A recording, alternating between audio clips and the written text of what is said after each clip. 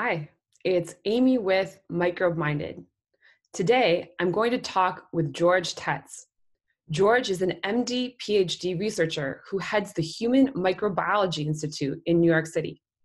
The Human Microbiology Institute researches the human microbiome in both health and disease, with a particular focus on bacteriophages. Bacteriophages are viruses that infect bacteria, and by doing so, modulate their activity and behavior. Bacteriophages are also the most numerous organisms in the human body. But Tetz and team look beyond just these functions of bacteriophages and are also studying the ability of bacteriophages to interact with human cells, mammalian cells, and also with the human immune system. And they are also studying bacteriophages as novel mammalian pathogens in conditions like Parkinson's disease and type 1 diabetes. So join me now as I talk about these topics more with George. George, hey, how are you? Oh, good. Thank you very much. Thank you for reaching me out. So we're working in the microbiome area for the last definite, I think, 15 years. And uh, we have set up the Human Microbiology Institute uh, several years ago to combine all our scientific uh, efforts from our scientific team. Mm-hmm and uh, currently, we're pioneers in the so-called phagobiome research. We're the first to show that bacterial viruses that are named bacteriophages are mm-hmm. actually previously overlooked human pathogens. Mm-hmm. And uh, it is something that uh, people should be concerned about, and mm-hmm. definitely it needs a lot of additional scientific research. I agree. Yes, I was really excited when I read your paper, um, bacteriophages as novel mammalian pathogens. It's something that I've I've read a lot of research um, over the past century that would indicate that, but I don't see, as you say, many teams studying that. Can you tell me a little bit more about that? So, um, just to give people context, um, we've been studying the human microbiome and we've mostly been looking at bacteria. And how do you add the bacteriophages into that picture? I will tell you. So, well, uh, indeed, the predominant part of the human microbiome right now is dedicated solely for the bacteria. And actually, that was indeed due to the lack of effective methods to study the whole microbial population. Right. Because the routinely used methods, such as uh, whole genome uh, as a genome sequencing using 16S RNA, that is right now the most cheap and the most broadly spread across different scientific groups. It allows only the identification of uh, the variety of bacterial species mm-hmm. that it does not allow to go into more details in, in studying the other components of micro of human microbiome and mm-hmm. actually analyzing the variety of data uh, of that state that uh, human microbiome is implicated in the development of different pathologies i noticed that all these analyses they actually they lack one very important component. They mm-hmm. lack bacteriophages. So right now there are a lot of debates about the role of antibiotics treatment on the, for example, um, in the early childhood for the uh, modulation of microbiota and the development of different diseases. And definitely it is an important. However, the most influential and the most important regulators of microbiota stability are not antibiotics. They are bacterial viruses named bacteriophages. And all these studies, they were lacking the deep analysis of what happened with their bacteriophages communities at the time. So just a very, very brief background. So bacterial yeah. viruses, right, they are regular viruses, but their mm-hmm. hosts are not human cells or not eukaryotic cells, but only bacterial cells. Right. And actually, that was one of the reasons why they were previously overlooked, because no one have paid attention for it because, well, bacterial viruses that infect bacteria, that's it. However, as I mentioned, the once the concept, uh, the emerging concept of the role of alterations of microbiome appeared, mm-hmm. so it is definitely, from my perspective, the study of these regulators of microbiota. It is something that uh, scientific community should uh, take care of. It is very complicated because there is a lot of it is like like dark matter of the bacteriophages mm-hmm. because first of all they outnumber the total number of bacterial cells over tenfold there are a lot of previously unknown and not not yet known bacteriophages at the moment. Right. However, if we're talking about the phages that are currently well known and currently can be studied, of course, it is something that it, although it is not well studied yet, but um, right, we have tried to manage it and try to evaluate their role and implication in different diseases. So that is what we do currently here at the Human Microbiology Institute. That's great. Yeah, I mean, it's it's obviously bacteriophages must be playing a role, a, a, prominent role in regulating the microbiome. It seems by definition. Um, can you explain how what back how more specifically how bacteriophages modulate bacterial behavior? Sure. So there is um, not only. Let me go maybe a little bit uh, broader. How do mm-hmm. bacteriophages can affect human health? because that I think also, sure. more right because mm-hmm. the way of their interplay with bacteria is just only one sort of right. uh, of their of their how do they they, they can affect humans. So yeah. actually, we have uh, in our this research we have this um, we have separated the bacteriophages ways of how bacteriophages can affect human health on two main pathways. Mm-hmm. One, a direct interplay with host micro microorganism, and right. another one is the indirect when mm-hmm. phages affect microorganism by modulating microbiota. So if we'll start talking about the first one, the direct way of bacteriophages implication in human diseases, uh, there we see two main, actually two main components. First of all is uh, that bacteriophages can interplay with human cells. And mm-hmm. although before 2016 or 2017, you know, this work was done and filed in 2017, it was un, uh, unclear. However, the latest research uh, from our colleagues, it shows that actually bacteriophages can affect and can directly interplay with human cells penetrating within human bodies.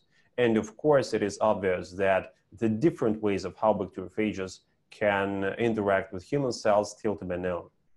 Uh, there are a lot of research right now from their Pollard institutes that uh, mm-hmm currently showing how bacteriophages can directly interact and interplay with leukocytes and mm. lead to the alterations of their cytokine production and uh, yes. uh, modulate like receptor and immune response. And definitely, it is also a direct way of how bacteriophages can affect human health.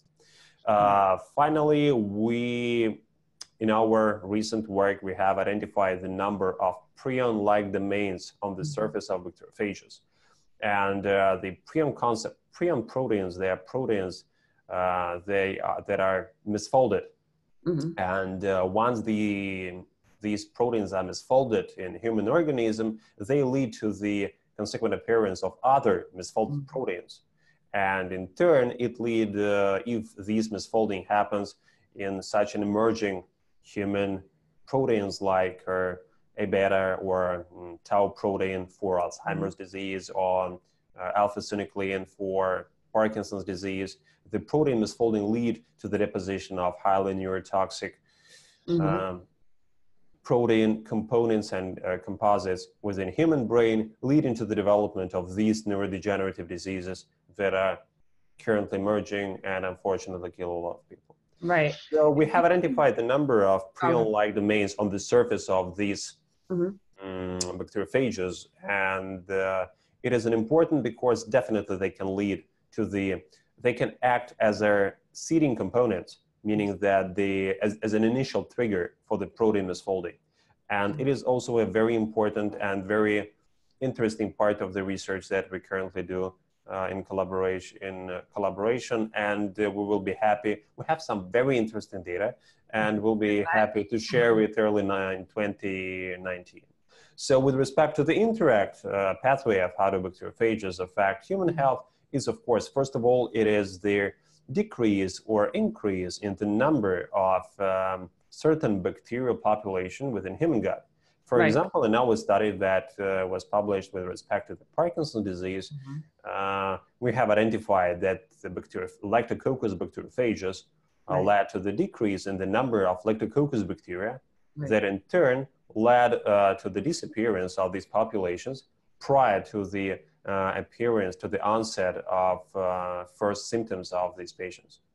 Got it. And, um, that changed. Not to go maybe into too Yeah. much into more details with these diseases, uh, the same concept it was also noticed by other scientists for the uh, Crohn's disease, Yeah. uh, for the obesity, where the implementation of microbiota is well known as um, to be associated with the triggering of these diseases. So Right. right. now we expand this research to other neurodegenerative diseases and uh, to certain autoimmune pathologies, including Mm-hmm. our latest research in Taiwan diabetes. Yeah. So and okay. the final pathway, it is the fourth uh, indirect pathway, is that bacteriophages, once they kill bacteria or lead to the disruption of microbial biofilms, it leads to the release of pathogen associated molecular patterns such as LPS or cell-free DNA that are bacterial cell-free DNA or bacterial LPS that in turn are pretty well known triggers of a cascades of uh, immunological reactions that can affect and can be suggested as a triggering factors of different uh, multifaceted human diseases. Got it. Well, that was a really good summary of you're, you're looking at a lot of topics, but all really, really relevant. Um, yeah, in the case of the lactococcus phages, it modulated the activity of bacteria that produce dopamine, right? So that was that was part of what your study found, correct? So like Uh, yes, right. So we have uh, in Parkinson's study, uh, we have identified that patients uh, who developed. Um, actually, it was uh, we compared in this study the uh, two patient popu- uh, two populations. One of them were uh, with very early Parkinson's disease, meaning they were even treatment naive, and the second one was age matched control group.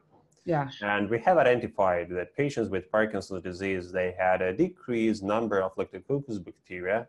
And we identified that the decrease of Lactococcus bacteria was due to the uh, highly lytic infection of these microorganisms um, due to Lactococcus bacteriophages. right. okay. And uh, the role, uh, Lactococcus bacteria, they play a very particular role Right. in the human gut, particularly in uh, Parkinson's disease. So Right. first of all, they're an important regulators of, mic- of um, intestinal permeability. Yeah. Uh, their increased intestinal permeability is known as a, as a mm, uh, one of the well-known um, Mhm. maybe not key mechanism, but an important mechanism that is implicated in the disease pathogenesis and leading to the chronic inflammation that can in turn affect these people. And on the other hand, the Lactococcus mm, bacteria within human gut, they're an important producers of uh, different um, neuro- neurochemicals, and they're an important component of the enteric nervous system. So one of the components that are produced by these microorganisms is uh, intestinal dopamine. exactly. And th- it is a pretty well known uh, that there, according there is a so-called gut-oriented Parkinson's disease Mhm. that states that the initial step of Parkinson's disease uh, uh, starts not in the brain but in the enteric nervous system, Right. and then retrogradely uh, through the nervous vagus goes up to the brain and lead uh, to these alterations that are pretty well known as uh, Parkinson's disease. Yeah. So yeah. we would like to highlight. So in these patients, we identified that bacteriophages killed microorganisms that are an important regulators for the enteric nervous system and that are known um, to be associated with the uh, with their decrease with, with their with the mm, maintenance of normal balance Mhm. of uh, intestinal dopamine. Right. That's what interests me most about the finding is it's such a clear mechanism. It's not just that the phages, you know, deplete It is random um, microbe. There's, you know, an actual connection between the dysbiosis, if you want to call it that, and you know, the, the neurotransmitter production and other aspects of the, you know, that dir- could directly contribute to the condition. We're very happy because here at the HMI we have um, not only bio, bio- bioinformatics staff but also people with their MD degree and they pretty much know about the implication of certain microorganisms in their in their interplay and in Right. their in how do they are involved in normal work of human of human microorganism and what happens yeah. when something goes wrong with them. Yeah, that's great because you can get the bioinformatics data, but then you have the biological knowledge to also better interpret the data, which is sounds like a really right. good thing for your group. Cool. Um, in the type 1 diabetes study, what did you find with phages there that you've done so far? Yeah. Uh, so we have received, uh, so the data is not published yet. We have submitted the paper, so waiting for the approval. Okay. Uh, but what we have received, it, was um, it was a longitudinal human, human microbiome study mm-hmm. from ch- of children from uh, their birth until three year of until three years of their old of their mm-hmm. age. Uh, all children were had certain HLA mutations Okay. Uh, therefore, meaning that all these children they were highly susceptible to type 1 diabetes. Mm-hmm. However, upon three years of age, only the number of patients were converted to islet autoimmunity and to type 1 diabetes. However, some other patients, uh, although they had uh, these altered genes, they have never developed signs of autoimmunity. So we have identified that children who further develop uh, type 1 diabetes or sort converted, they mm-hmm. had an initially very high levels of E. coli in their gut. And then we have identified, as far as it was a longitudinal microbiome analysis, so we could follow up uh, what happened with this E. coli population during certain time periods, identified that all children before the appearance of autoantibodies, they mm-hmm. had a complete disappearance of E. coli in their gut. And the reason why that happened was due to the fact that um, these patients had an elevated levels. Um, they had, sorry, they had an active prophagus infection, okay. meaning that bacteriophages were responsible for the elimination of these E. coli population in their gut. And uh, E. coli, they're a member of Enterobacteriaceae family, and they're mm-hmm. pretty well known that one of their pathogenic associated molecular patterns, or so-called PAMs, mm-hmm. that can be released from the biofilms of these microorganisms. It is known to be highly immunogenic and can trigger other, um, other pathologies and other um, diseases, including, for example, systemic lupus erythematosus. So here we state that actually bacteriophages, through this indirect mechanism, led to the um, appearance of highly immunogenic bacterial proteins that mm-hmm. in turn could trigger the autoimmunity uh, and turn uh, to type 1 diabetes. And so, in a way, it doesn't seem like autoimmunity is really what's going on in the in the classical sense, in terms of the immune system only reacting to self in those conditions. It would seem now that we need to better study how the immune system reacts to um, pathogen peptides or right. in, the question right. is about well actually a lot of research is dedicated particularly to these uh, to these things however mm-hmm. or the question is the most important question what happens and why do even people with altered genetics why did some people develop this disease and uh, why some not so what happens in the patients who do develop it and uh, the sometimes the simple microbiome analysis, it cannot completely address it. So it's necessary to go into more details and to uh, human and additional animal studies that is currently right now we're doing it. For sure. Um, right. So, you know, we treat now autoimmune conditions with um, immunosuppressive drugs, strong doses of that. How do you think that affects the phages that might be actually driving a large part of the dysbiosis? It is a dark matter. It is what? a really dark matter uh, because, on the one hand, definitely the uh, the current research there's there's not so much data about how do uh, different types of therapies affect bacteriophages. Uh, right. Neither mm, neither chemotherapy nor antibiotic right. therapy, right? And meaning that certain alterations that uh, uh, that can be following these uh, therapies in terms for their effect, um, effect on bacteriophages, it is something that is completely unknown. Right. There's not even a lot of studies yet that look at the bacterial microbiome um, in patients with immunosuppressant drugs for long periods of time, which I find frustrating because I actually um, find it to be a difficult paradigm now that we shut down the immune system uh, solely in most of these patients with these conditions when the microbiome and virome seem to be playing a large role in them. Well, on the other hand, these patients, as for now, they no for now have, they, uh, they didn't have much options. Exactly. I'm talking about future though, in terms of you know future development of treatments um, that we make The most important thing in their future development, and that is actually what we do here at the Human Microbiology Institute, mm-hmm. is because when you can figure out the real cause of the disease, exactly, it is possible for uh, the develop programs for the primary prevention to completely mm-hmm. eradicate it. But for that, you need to know what is the truth causal ca- uh, mechanism of um, what actually yeah. leads uh, for the development of these pathology. Right. So if we can better understand the root cause mechanisms, you know, now by better studying bacteriophages and all, the entire ecosystem of, of microbes, we can probably do some better root cause therapies in the future. That's the goal, right? Yeah. Absolutely. I agree with you. Okay, cool. Um, yeah, when it comes to phages, um, you know, I've read studies on phages going back for 100 years or more. How come um, bacteriophages almost fell out of favor in research? I just, it, we've known about them forever, and it's interesting to me. Why did we become so bacteria centric? Are there any reasons for that historically?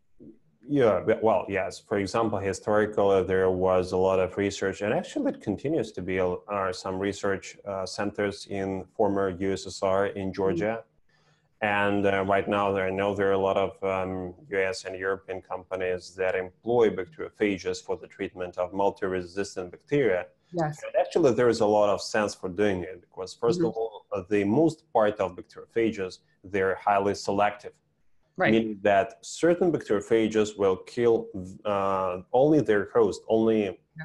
uh, their and uh, that is why bacteriophages are used for the therapy of uh, uh, are trying to be used. Yeah, exactly. Right, right. There are a lot of attempts, and some of them are very successful.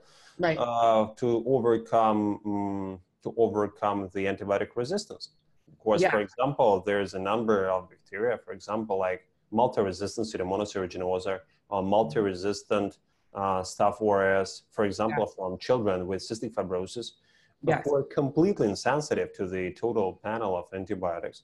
And right. actually, these, if we're talking about cystic fibrosis, is predominantly children. These children just have no other options. Or, for example, if mm. we're talking about the uh, diabetic ulcers that are also caused by polymicrobial infections with a mm-hmm. lot of um, a lot of multi-resistant bacterial stuff.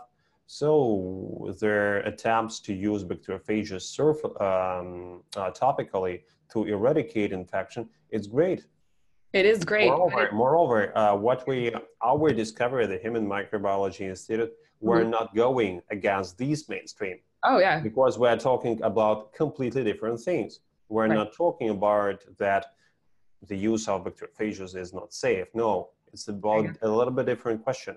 It's about can bacteriophages, and of course, they're not phages that are used for the treatment mm-hmm. of uh, Pseudomonas aeruginosa or MRSA. Yeah. Other phages, can they be uh, previously overlooked human pathogens?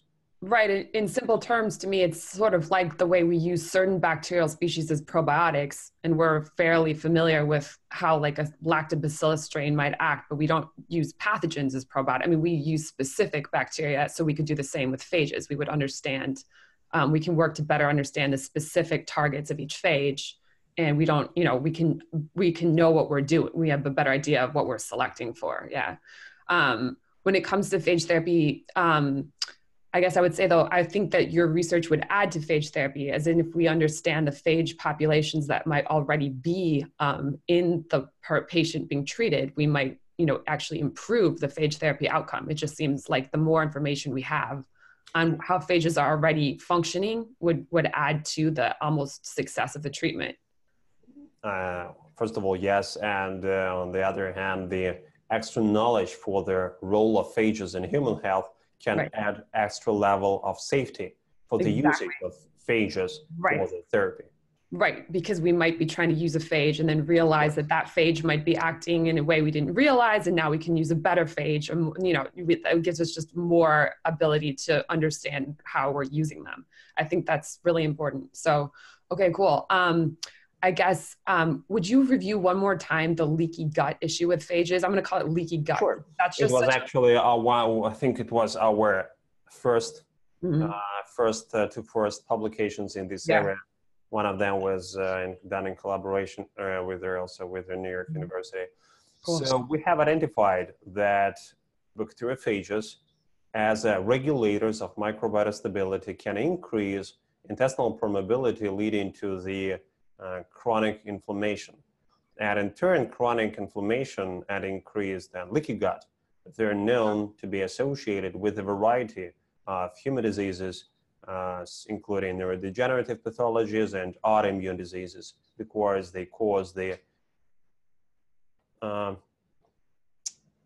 uh, they lead to the aberrant way of high of how immune system responds uh, to the uh, irregular stimuli. That's So we really have used the regular, we have used the rats and uh, gave Mhm. them the cocktail of different bacteriophages. Mhm. Interesting that we have used bacteriophages that are very commonly found in the wastewater or in water plants. So uh, they were phages against Staph aureus, Pseudomonas, against E. coli, and not against, I just want to highlight, not Mhm. against the Electococcus species or Fusobacterium species. I wanted that was a question I had for you actually. How would you choose the phages for that study? We used them from the wastewater. Interesting. We isolated it. Okay. and uh, interesting because uh, the results that we have received we, uh, we evaluated following the microbiome so in, then uh, the animals were given with these strong bacteriophages cocktail for, for the number of days two times daily with water uh, they were even not ejected so and then these bacteriophages caused uh, significant alterations of their intestinal microbiota that was revealed with their whole genome sequencing. And moreover, we have measured the signs for increased intestinal permeability in these animals, so-called uh, lactulose mannitol ratio. And we have evaluated that all animals who were exposed to bacteriophages had an increased intestinal permeability and a decrease of Lactococcus bacteria and some other bacteria that are known to be an important regulators of um, gut permeability. But we had, notably, we have never gave them phages that That's- were dedicated direct, uh, directly that could- could directly eliminate these bacteria, meaning That's that bacteriophages can lead to the cascade of Mhm. microbiota alterations, finally leading to the decrease of the number of bacterial species. Right. And so what you're also showing is that you we now see such a correlation between environment and these conditions. You're actually showing that phages in whatever it is in the environment, uh, be it in our food, our water, whatever, could affect us. You know, it actually provides a, a almost a, a new mechanism to understand how people will sometimes say that they had a uh, they drank contaminated water and they got a disease or they you know what i mean it seems like it's I don't want uh, to scare anyone, but one Yeah, seawater contains 10 as the eighth power of bacteriophages. we might as well know that you know i don't see how it's going to hurt anyone to look at the reality of what might you know where things are and then we can better sort out how to deal with the problem. A lot of research has to be done in this Mhm. area. exactly so you could we can easily pick up phages from our environment correct so Right. yeah and so in fact wasn't there one study that that estimated that something like 31 billion bacteriophages will sort of traffic from the gut through the body every day Uh, yes. so that's a, that's a lot of phages so that's i guess another question notably, I think it is, with this article, it was published in 2017 in Right. Empire. And this is an article that highlighted that bacteriophages could interact with their Right. human cells. Right. epithelial cells right yeah exactly so that's huge i mean so we're looking at these billions of organisms and by the way they're definitely been found outside the gut frequently correct Right. so even in the cerebral spinal fluid or even in the placenta phages right with the brain i know right, right now that right. has good brain phage data so okay so we're basically looking at organisms that can persist on most human tissue and blood and contribute to, you know, are probably. And uh, notably, they can uh, persist in two ways. Mm-hmm. Because mm-hmm. bacteriophages, they uh, can be, they present in two states. One of them are free living, so sorry, they're not living elements, right? But free yeah. presenting elements mm-hmm. like lytic bacteriophages. Right. And another one, when bacteriophages are integrated in bacterial genome, so-called prophages, but in this case, they can exit uh, bacterial cell at not every time, any time, but they can regulate the time when they can exit from bacterial cell and lead to the productive infection. So definitely a lot of bacteria, even within cerebrospinal fluid, for example, right. uh, they do have bacteriophages, right. maybe not directly, but indirectly within their genome. Got it. Yeah. And, you know, I was thinking about this the other day. Um, we've been doing analysis, let's just say a big data analysis where we collect a lot of um, RNA or something, we're trying to understand what, what microbes might be present in a, in a sample.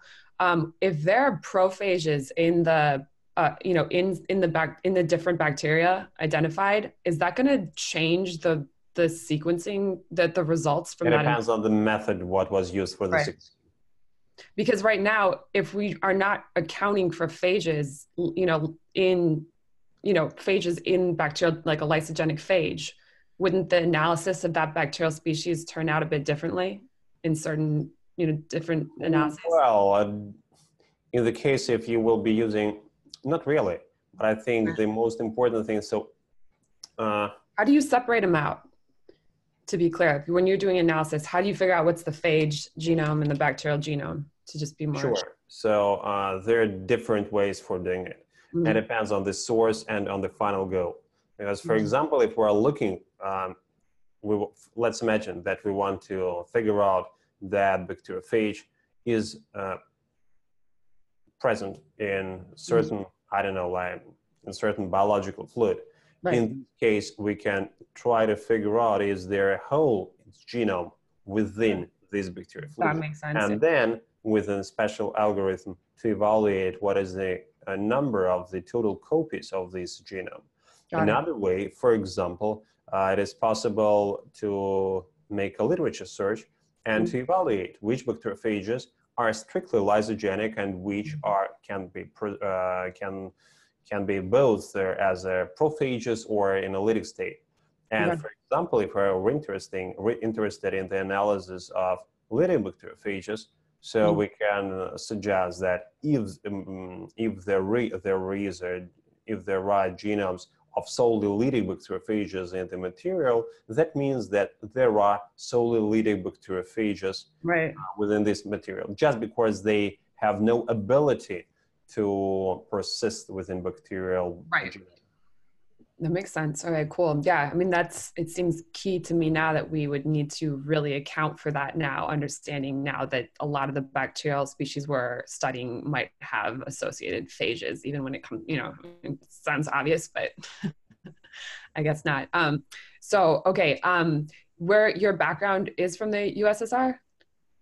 Uh, well, I'm originally right uh, from St. Petersburg, from Russia, and Russia. then my sisters are from Estonia. So long story.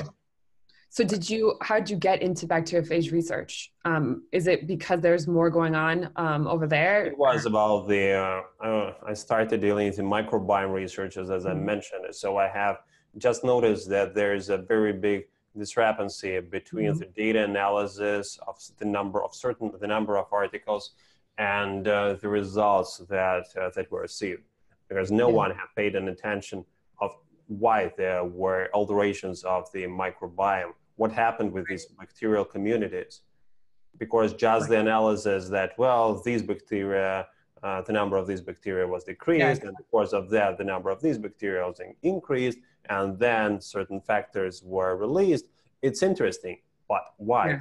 what was an initial trigger mm-hmm. Got it. And so to you, um, I don't know, it's you have a fairly phage centric view of that as opposed to the bacteria sort of Sorry, modulate. Can you repeat once again, please? I guess like you have a fairly um, phage like centered view. I think so. Do bacteria can bacterial activity modulate phage activity? Obviously, and back and forth. I mean, it's or it's Of mostly course. obviously, yeah. Of course, uh, particularly when bacteria, when bacteria, when bacteriophage is within bacterial genome, and there are a number of ways of how bacteria can interplay with uh, Mm-hmm. bacteriophages. Moreover, for example, if we're talking about the initial steps of bacteriophages infection of bacteria, there is a pretty big number of ways how bacteria can manage and can not affect uh, bacteriophages DNA to penetrate within Right. bacterial cell. So yeah, depending on the CRISPR-Cas system or whatever of the bacterial species a person Right. has, you're going to actually see, I guess, then that different phages will be able to persist in an individual's microbiome based on that factor. What about inherited phages? I mean, obviously, the do you how do you see that as a as something that may be contributing to you know diseases passed? in- we are working on that, right?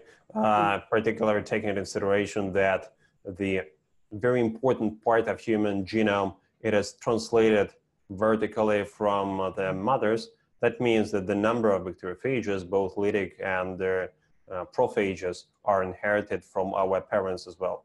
exactly because that I'm, I'm Another question. yeah. Sorry, go on. Apologize. I Oh, want to interrupt. No, it's fine. I'm particularly interested in the breast milk microbiome, which to me has a pretty big impact on, um, you know, infant health. Or have you looked at that? I mean, no, Um, know that no, not yet. Not yet because of the lack of uh, well sequenced and uh, Mm. highly highly purified metagenomic data. So we have not used it yet. We haven't studied it yet, um, but it is something that we keep eye or, um, that we keep keep an eye on that. Another important question is about the safety of Mm. uh, fecal microbiome transplantation agreed with that. Right. because it is something that on the one hand it's a question about not the re- real about the safety it's a question about how it is necessary uh, to pick up the donor Yeah, uh, exactly. And probably the efficacy, how it ends up. It, some people seem to benefit more than others. well, well the uh, efficacy yes but uh, for example if patient with crohn's disease or some ibd uh, need the fecal microbiome transplant and it doesn't work once or twice this patient just get it for the third or for the fourth time Yeah, exactly. and more often it works out but the question is about the safety and Yeah, what happens right. with their persons and with the recipient's microbiome particularly taking into consideration that the very big number of prophages both lytic and lysogenic they enter gut of these patients Okay. and actually colonize them and it's um, a question about the long-term safety Yeah, I, I agree with you exactly. In that, and i have no answer on that introduced a just whole a lot of research has to be done in order There's so to many exactly. find out algorithms that should be more better fit for such an individual medicine. Exactly, because you're introducing a whole new phage population into a person, and we don't know the implications of that. I agree with you. Um, yeah, and I think you know, I'm as on one of your papers. Obviously, this is just something too. We pass phages from person to person, so you know that's a thing. It is. We Um, do it like viruses uh, transmitted from person to people, or from people to people. The same stuff happens with bacteriophages, and uh, the main difference is that phages can be passed as a litophages or uh, together with bacterial stuff. Got it right, because there are case clusters of certain conditions, sarcoidosis, this, you know, and it's it's a mystery. And uh, honestly, it does seem possible that there's some sharing of organisms. That's something I've always thought of. So In It- this case, it raises another question that is uh, an important, although it is speculative, is that if there are so-called bacteriophagous diseases, right. can they be transmitted Mhm. and can they be contagious or not?